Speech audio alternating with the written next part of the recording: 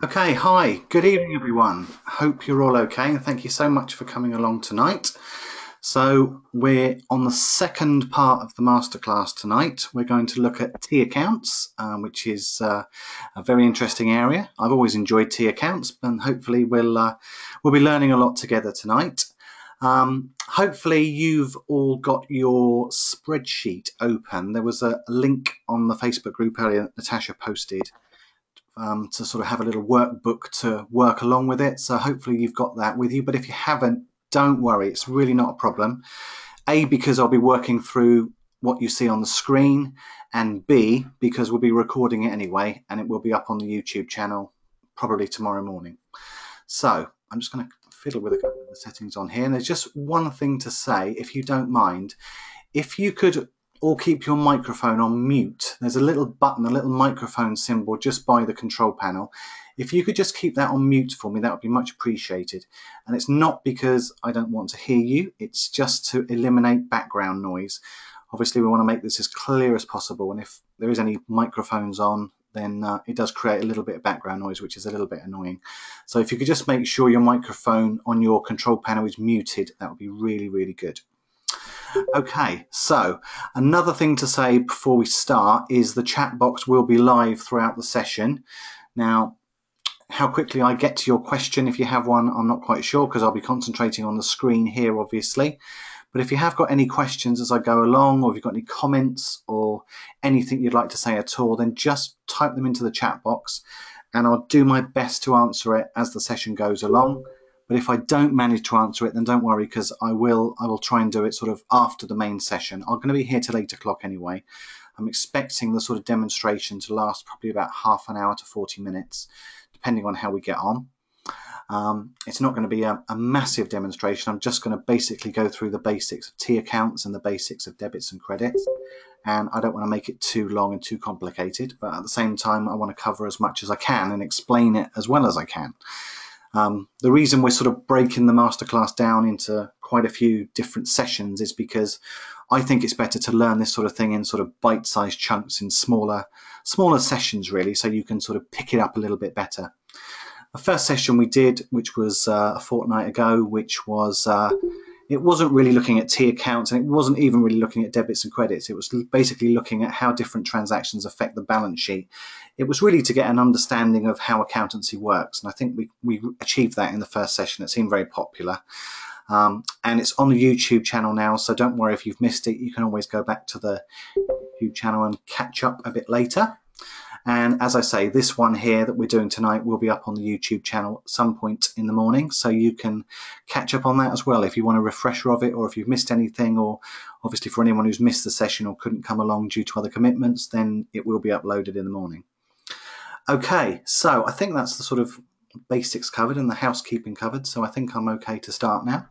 But as I say, got any comments as we go along, then please feel free to use the chat box. That's what it's there for. So as I say, the last session, the first session of the masterclass was really explaining the basics of accounting, what assets, liabilities and capital are, and really how they affect the balance sheet. I, I used the, the seven points that I've got on the screen now last week to demonstrate how those transactions affected the balance sheet. And for consistency, I'm going to do exactly the same thing again tonight. I'm going to use the same transactions, but this time I'm going to show you how it affects the T accounts. Um, so a little bit different to what we did last week, a little bit, I guess, more advanced. Um, and in the next session, which will be in a fortnight's time, we'll be looking at balancing off accounts. And I know that's another area that does cause a bit of confusion and people do struggle with that. So hopefully we'll, uh, we'll make that a bit clearer when that comes as well. So in tonight's session, we're not actually going to balance the T accounts off. We're just going to make all the entries in the T accounts. But we're going to take it really slowly and I'm going to explain how each transaction affects which account, why it affects it, etc., etc. And hopefully you can see this nice and clearly in front of you. And if you have got the spreadsheet open um, to work with, so much the better. But if you haven't, don't worry, because as I say, we're going to go through it really slowly on here anyway. So you can see here in this part of the screen, I've got the famous dead click um, formula, if you like. There's loads and loads of different ways of remembering debits and credits. Um, I found when I was studying that dead click was a really, really good way of learning it. There's lots of different options. There's lots of ways of learning it. And don't get too hung up on which option you use. I think because there's so many, people tend to get a bit confused about which one they should follow and how they should follow it, etc., etc. But I think dead click is is quite a basic one, um, and it's quite uh, quite useful, quite easy to explain. So dead click, as you'll see, we're going to go, go through it step by step. So the D and the C of dead click, the D stands for debit and the C stands for credit. So what I've done with dead clickers, I've split it into two boxes as you can see here. So we've got the dead and the click. It's a bit unfortunate to keep saying the word dead, but it is it is one of the best ways to remember it. So in the in the dead box, if you like, we've got the, the D for debit at the top, and we've got the three different types of accounts that we, we debit. So we've got expenses, assets, and drawings. And in the click box, which is the bottom half of this, this table here, we've got the C for credit and we've got liabilities, income and capital. So fairly straightforward, but there's one really, really important rule that we have to remember is that dead click only applies if we're increasing the value of the accounts. Now, I know lots and lots of people that have learned dead click but have forgotten about the increase bit and it can get a bit confusing. Let's say, for example, you're decreasing the value of an asset account. Now, if you're doing that, you'd need to credit it. But as you'll see, the assets appear in the debit side. So it does cause confusion sometimes um, if you just think of dead click as it is and you don't think about what effect you're having on the transactions by using this table.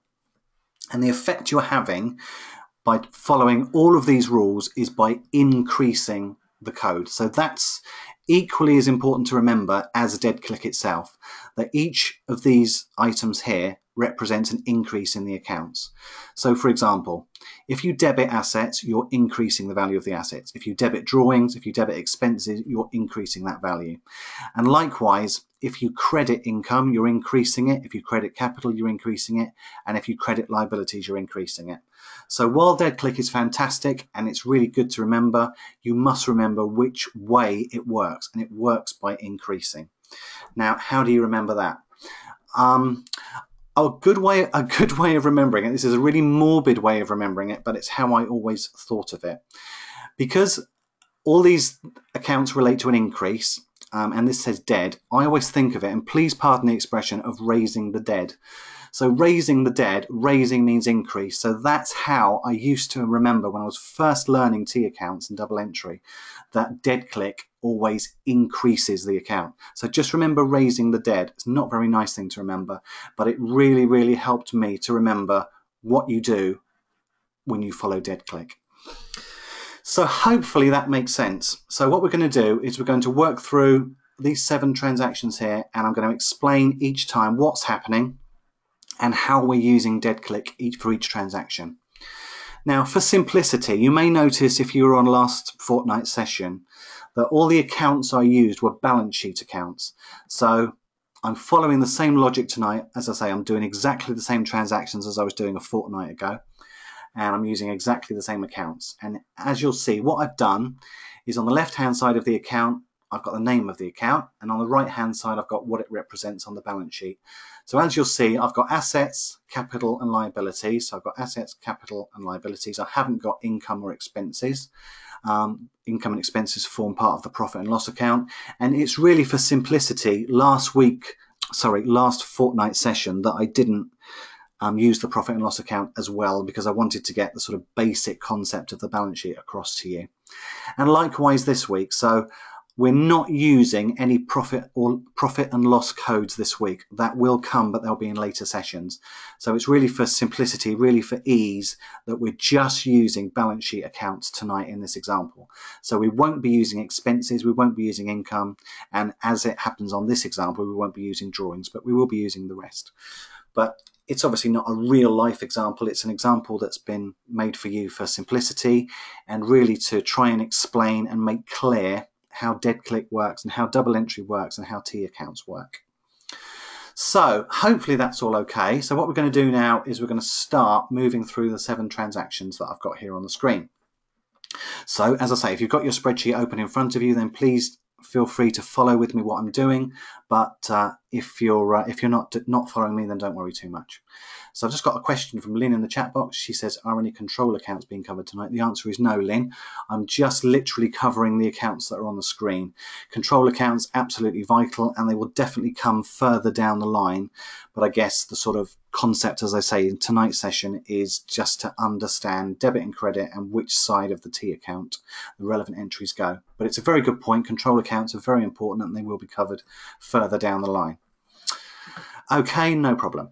So number one is the introduction of capital. So we've got a sole trader here called B. Blake and B. Blake started in business and deposited £60,000 into a bank account opened specially for the business. So as we said last week, every single transaction has got a debit and a credit. There's always two entries to every single transaction. There has to be, or else our trial balance will never balance. So our first entry, we're going to start off with £60,000 in the bank account. So we know the bank account is an asset. It's an asset on our balance sheet because it's something we have, we have in our possession. Um, in this case, we're talking about a bank account that we've got money in. We're not going to go into overdrawn bank accounts, overdrafts, which are obviously liabilities. We're not going to go into those. We're going to assume that for this example, the bank account has money in, so it's something we own, so it is an asset. So the bank account, if it's got money in it, if there's a plus balance in the bank account, it's always an asset. So we're depositing £60,000 into the bank account here. So we're going to move into this cell here. Now, if you weren't here for last time session, or if you haven't seen it yet, I gave out a very useful, what I think was a useful tip when you're using spreadsheets. And whenever you're typing numbers into a spreadsheet, I've always done this right from my first days of using spreadsheets, is to type the equal sign first.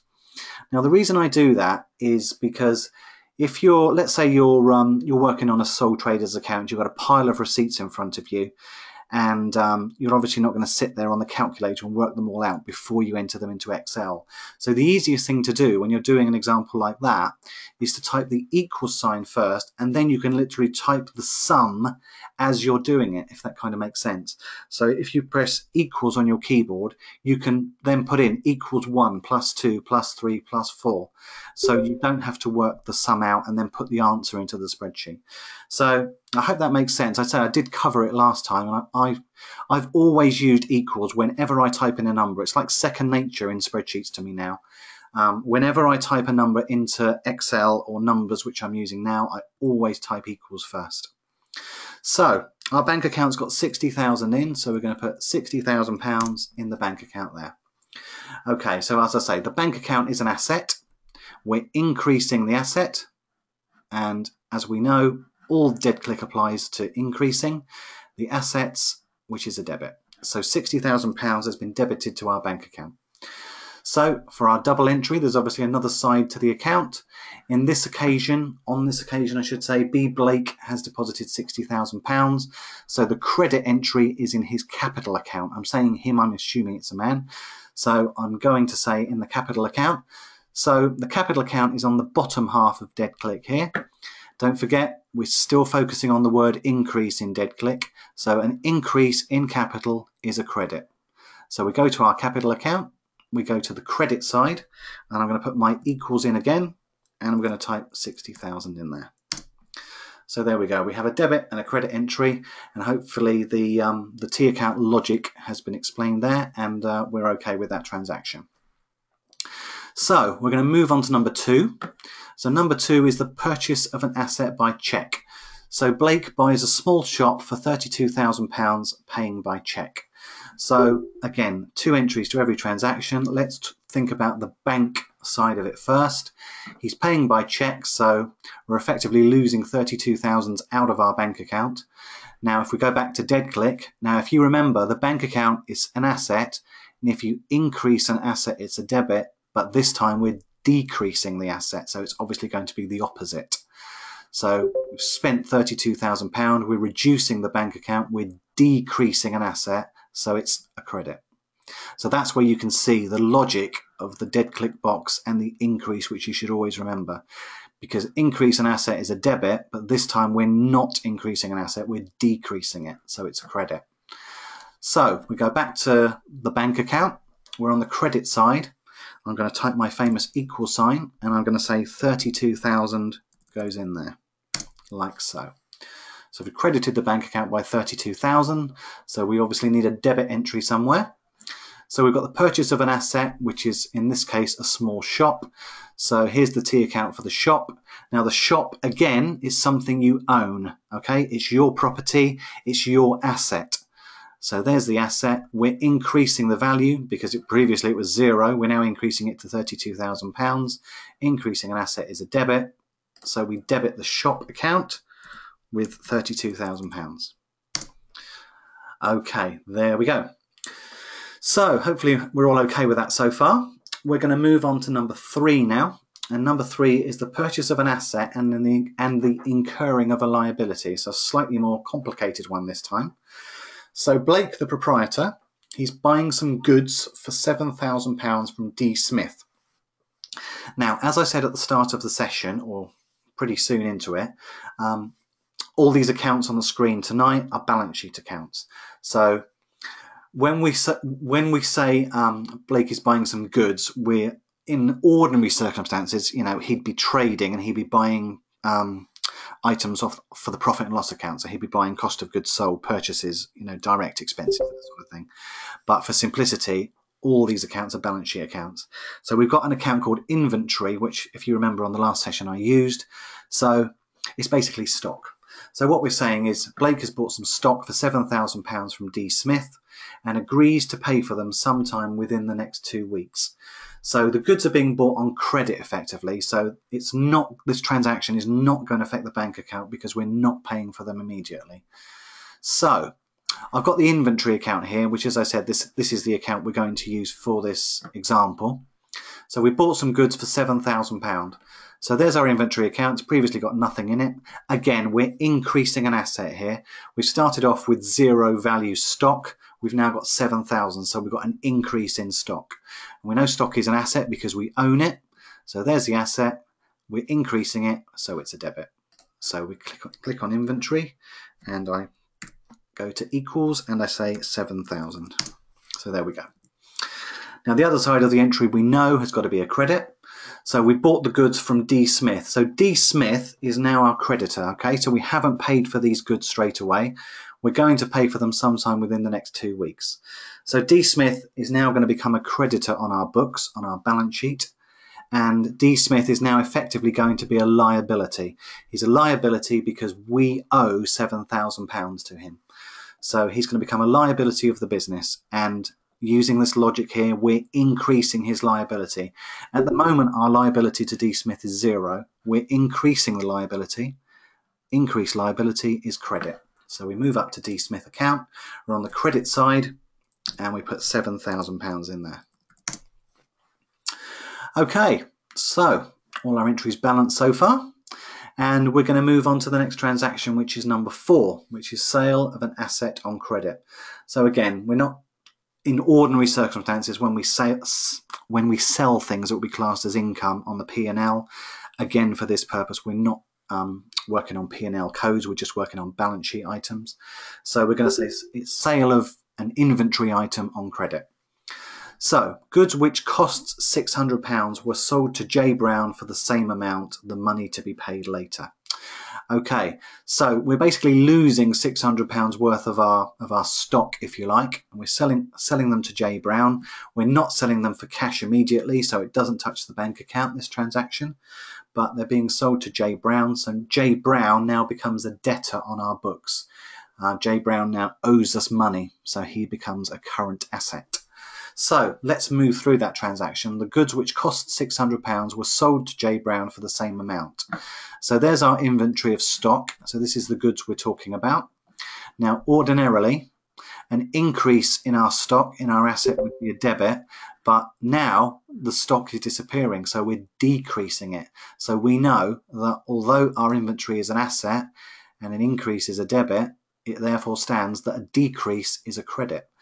So we go to the credit side of our inventory account and we say £600 in there like that. So the goods were sold to J Brown for the same amount, the money to be paid later. So we've got an asset account for J Brown. Now the reason J Brown is an asset is because J Brown is now a debtor of the business. J Brown now owes the business, that's owes this time, O-W-E-S apart um, besides owns, which is not, it's owes, owes the business £600. So J Brown will become a current asset because J Brown owes us money and we're increasing the value of his debt. So we're increasing an asset, which is a debit, which follows, it goes in there. So we're going to say equals £600 in there like that. Okay. Right, we pause for one second. We'll have a slurp of water. So hopefully so far, with those four transactions, that's making sense. If it's not, or you've got any comments at all, please do type something into the chat box so you don't understand it. Or if you do, that's great. If you're following along with your spreadsheet, that's great too. Hopefully your spreadsheet's all balancing as well. So we're going to move on to number five. So number five is sale of an asset for immediate payment. So goods which cost £400 were sold to D Daly for the same amount. Daly paid for them immediately by cheque. So Michelle says, is anyone else having problems with the audio? Hopefully not. Hopefully the audio is all okay and you can you can hear me okay. I've not had any other comments, Michelle. So I, I, I don't like to say I hope you did initially, Claire Ann, but you're. Hope everyone's okay now. Lindsay says all good. So yeah, hopefully all good. Hopefully all good. Brilliant.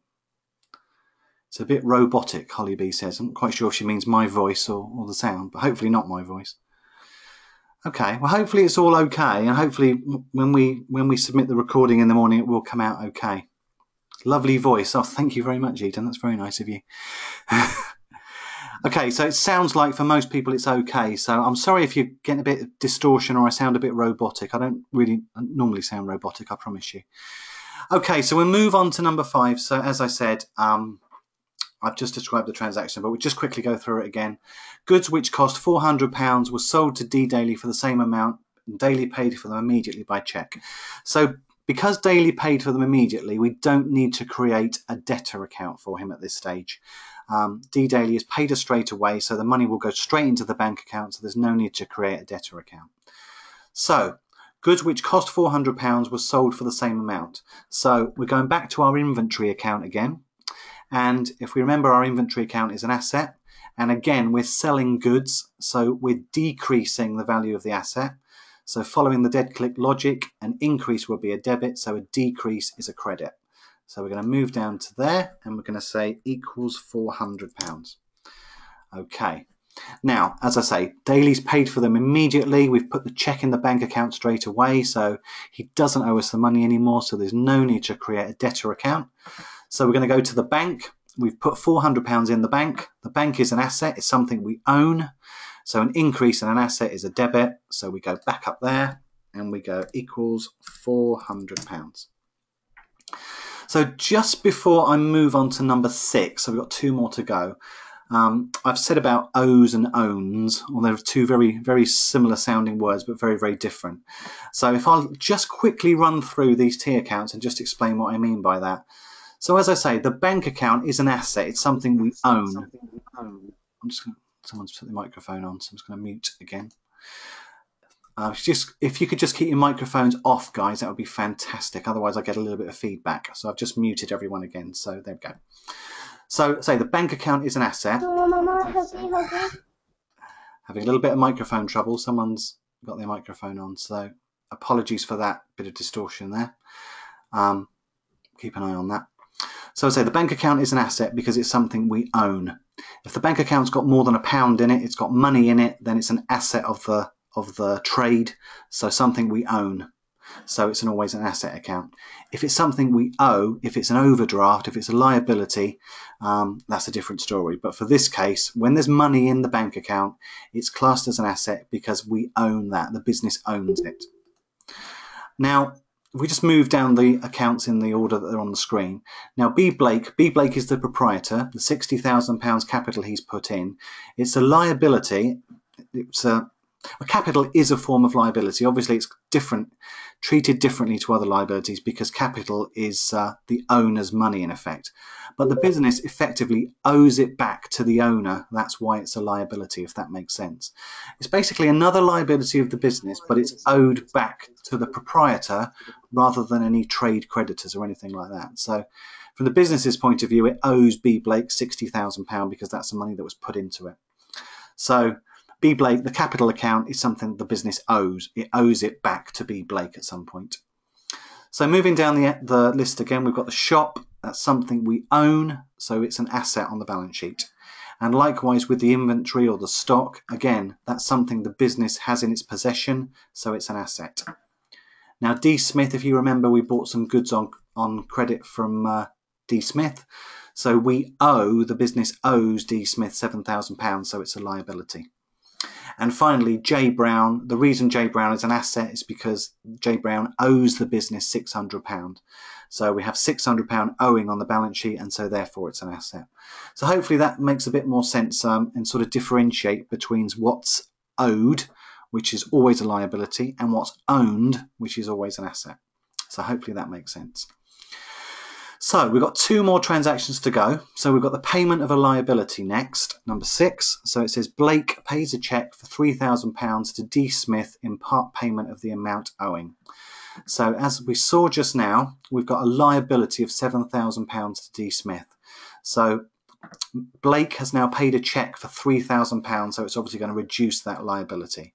So it not only reduces the liability, it reduces the bank account as well. So let's look at those two sides of the transaction in logical order. So the first thing we'll look at is how it affects the bank account. So we're paying a cheque for £3,000, so it's coming out of the bank account. Now, if you remember, an increase in the asset of the bank account is a debit. We're decreasing the value of the bank account, so it's obviously the opposite, which is a credit. So we'll move up here, and we're going to say £3,000 come out of the account. And the other side of that is we're paying off some of the liability that the business has to D. Smith. Okay, so again, this is where it's important to remember. I guess this transaction, what I'm about to do, highlights it more than anything really, is remembering the importance of the increase in dead click. Um, because what we're doing this time is we're, we're having to remember we've got to decrease the liability. Now, if I didn't have that word increase there, and I just said to someone we need to change the value of the liability account. Now they would probably say, ah, liability, it must be a credit. But of course it's not because we're not increasing the liability account, we're decreasing it. So as well as remembering dead click, always remember that word as well. So it's a liability account. Now, if we're increasing the value of the liability, it will be a credit, but we're not. We're decreasing the value of the liability which the business has, so it's a debit. So it's by £3,000. So there we go. There's the other side of the entry to that. Okay, so the last thing we've got, we're nearly at the end of the, of the example now. So the last thing we've got is collection of an asset. So we've got J. Brown, who originally owed Blake £600, makes a part payment of £200 by cheque. So we'll just review that first. So there's J. Brown. J. Brown's a current asset on the balance sheet because they're a debtor. So they owe us £600, but they've now paid us £200 by cheque. So the £200, we're going to pay the cheque into the bank account. Bank account's an asset. We're increasing the asset because we're increasing the value of what's in the bank, so it's a debit. So we move up here and we say he's paid £200. There we go. Now, J. Brown, who's a debtor, is also an asset on the business. Okay, it's also on the balance sheet um, classed as a current asset. So we have to remember the asset here, but this time we're reducing the value of the asset because we're reducing the value um, that J. Brown owes us. He owes owes Blake, I should say. He owed Blake £600 but has now paid £200. Now, this time, an increase in asset would be a debit, but we're not. We're decreasing the value of the asset because the money that's owed to us by J. Brown is now reducing. So it's the opposite to this. So we're going to credit. So we're going to put 200 in there, just like that. So that's those entries completed. So I'm going to move back to the top of the screen. So you can see on the debit side of the bank account all the money that's come in, the 60,000 that we deposited, the 400 pounds that we sold were paid for immediately, and the 200 pound that um, J Brown has paid us by cheque. And on the credit side, the money that's gone out the bank account, we've got 32,000 when we bought the shop, and we've got 3,000 pounds that we paid to D Smith um, for goods that we'd earlier bought.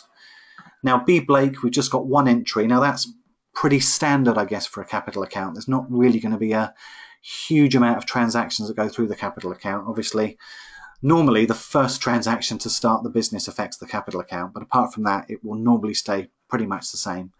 But just to reiterate what I said earlier, the reason it's a credit is because capital is a liability. Although it's it's the owner's money effectively, but it's a liability of the business because the business owes, in this case, £60,000 back to the proprietor. So capital is really another liability. It's only um, separated out because it's a specific liability. It's a liability that's owed back to the owner. Hopefully that makes sense. So the shop, again, you're buying a shop, there's not going to be many transactions on this account. The only transaction is a debit for 32,000, which is the original purchase of the shop. Now, the inventory or the stock here, we bought £7,000 of it originally, which was there. So that's on the debit side. And on the credit side, we sold some stock. We sold some stock for 600 to J Brown, and we sold some for 400, which we got paid immediately by check for. And the last two accounts, we've got D Smith. So D Smith's a liability account. Um, originally, we bought the £7,000 worth of stock from D Smith. So we, the business owed D Smith the £7,000. Um, but we then paid £3,000 of that. So in effect, we now owe D Smith £4,000. And the last account, which is an asset account, which is J Brown, it's an asset because it's a debtor. It's a it's a debtor to the business. It's a it's a it's a positive figure on the balance sheet. It's a current asset. Um, originally, it was six hundred pound because we sold some goods there for six hundred, and since that time, J Brown has paid us two hundred pounds of that six hundred. So again, there's four hundred owing on that. So hopefully that's half an hour. So hopefully that example is proved worthwhile to you. And I know I've kept on and on and on about the increase word here in dead click, but it is really important to remember. And hopefully sort of moving through that example, you'll realize how important that word is and how it's always important to remember that dead click applies to increasing accounts. And if you do remember the raising the dead analogy, then it's a bit morbid, but it's uh, it's a good way of remembering it. Eventually, if you pardon the pun, it will click, and it, it did for me quite quickly. I must admit, I've always always been really really loved double entry, and uh, um, I did sort of I was fairly lucky, I guess, that I picked it up fairly quickly. But I know it does cause a problem for lots of people, and I know it is it's difficult if you can't get your head around it. Then it's very very difficult to struggle with, and it can be quite frustrating. Um, I remember when I was studying it, uh, there was quite a few students who were struggling, and it's it's very very hard until it until it does click in your head. It's very very difficult to, to to understand. But once you sort of understand the logic, and hopefully I've explained the logic a bit more tonight, um, then um, I think eventually it does click. Now Eden's just said dead click seems better than pearls. I, pearls is another one. I'm, I will not go into pearls now. Um, but because uh, I think dead click is easier than pearls, but pearls is another one, another one to use absolutely. Now Sam's just said to me, "Can you just please explain the increase next to dead click?" Yes, okay, Sam. So that's what I've been trying to say. That the it, that it's a very very important word because the word increase applies to all this whole table when you're talking about how you use the accounts. So I'm trying to think of that in a very simplistic way. So let's look at just one one sort of last time. Let's look at this box here, the dead box, if you like. If you debit an expense, if you debit an asset, if you debit drawings, then that will always be an increase. So if you need to increase any of these accounts, it will always be a debit. And that's what dead click explains. Similarly, for the bottom half of this table, it also applies to increasing the accounts. If you increase liability, if you increase income, if you increase capital, it will be a credit. So increase follows this whole table. Whenever you treat these accounts in the way that's described in this table, it will be an increase. It's when you apply the opposite to the accounts that it becomes a decrease. Um, let's just explain that sort of once more if I can. Let, the easiest way to explain it, to be honest, is um, in the bank account. Now, I've done two two sides to the bank account tonight, as you'll see. We've we've received some money in, which is debit, and we've spent some money, which is credit. So I guess what I'm trying to say with dead click is if that word increase wasn't there and I hadn't mentioned it, if I'd said to someone um, with that that example there of £32,000, so Blake, when Blake bought that shop for £32,000 paying by cheque, I could have said to you, the bank is an asset account. We need to we need to put that £32,000 in the bank account. Now, some people might have said, ah, the bank account's an asset, it must be a debit. But of course, it's not because we're not increasing it. So I know it's a bit fiddly and I'm, I'm hoping I've explained it in the right way, but I guess, if, as I say, to me, dead click is the best way of using it. And the but the golden rule of dead click is you have to remember that word there every single treatment of those accounts there is an increase. And if you're going to decrease any of these transactions, it's the opposite. That's what you have to remember. So, um, great. So people are saying this, they're, it's starting to click now, which is great. Someone's just said a light bulb's gone off in my head, and that is really good. And I'm really, really pleased about that. Do you know what? This is why I do these sessions. I don't do it for any other benefit than to help you guys. That's the only reason I do it and I really hope it's helped. And I'm, all I'm trying to do really is convey my knowledge and convey how I learnt this stuff. And uh, once it does click in your head, um, you'll be flying with it. And I hope that this method that I've explained tonight is is the best method of doing it. Um, as I say, please don't think it's the only way to do it because it's not. Um, there's lots of other ways, and I know pearls. Pearls is used a lot. I'm not going to go into pearls now because I don't want to add to the confusion, but Pearls is used a lot. Um, I personally find dead click is more logical than Pearls, and I think it's easier to understand. But all the time, all the time you're understanding it, you must must remember about that increase. And I think if you can get that, I think if you can always remember that the increase rule applies to dead click, and if you're decreasing a count, you have to remember it's the opposite.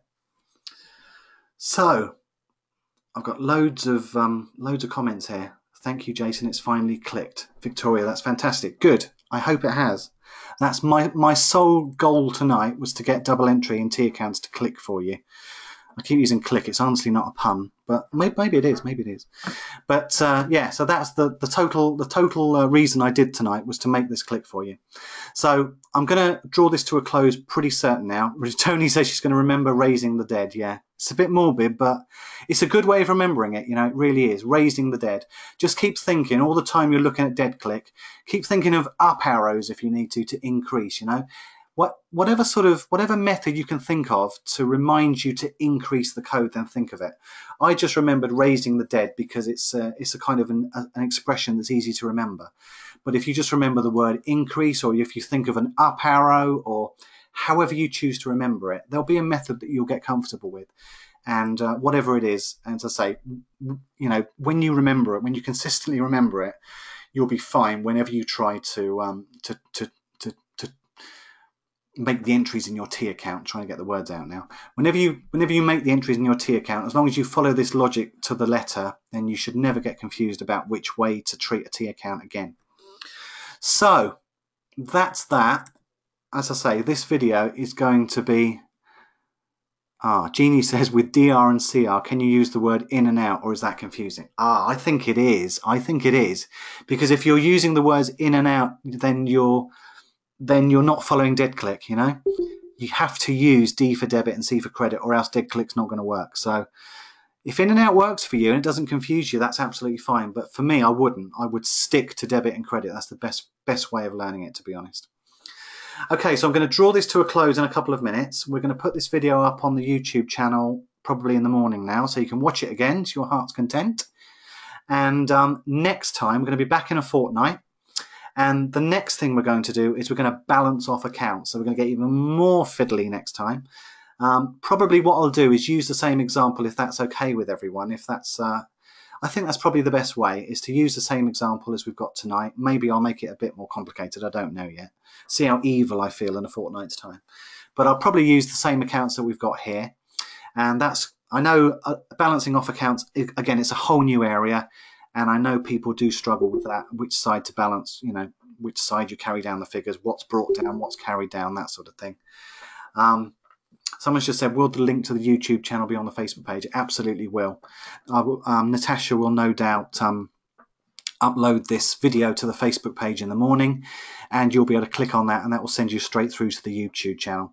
The YouTube channel is building up quite nicely. As I say, we've got last week's masterclass on there, last fortnight's masterclass on there as well. And every masterclass we record now, um, as we go along, will be on the YouTube channel. So if you need to, if you need a refresher, they'll always be there. Okay, guys, well, hopefully that's helped. I really do hope it's helped. The only reason I've done it is to help you guys. So I really hope that it has. And uh, thanks for watching. Thanks for being patient. And uh, hope you've enjoyed it. And we'll see you all next time. Thanks very much, guys. Bye for now.